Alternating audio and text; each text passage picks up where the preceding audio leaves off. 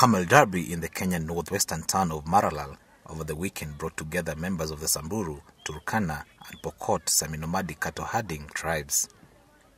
It was the latest attempt by Kenya to revitalize the tourism industry after an upsurge in terrorism.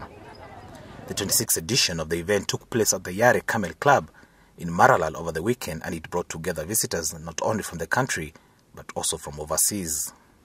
This year's event saw an increase in numbers as compared to the last year, with more than 18 countries and more than 120 people participating.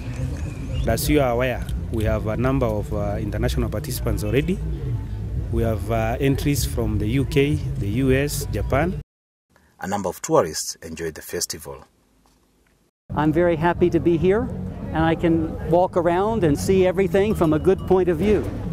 In 2015, Kenya expected to restore its position as a key African destination for tourists owing to the ongoing upcoming events in the country.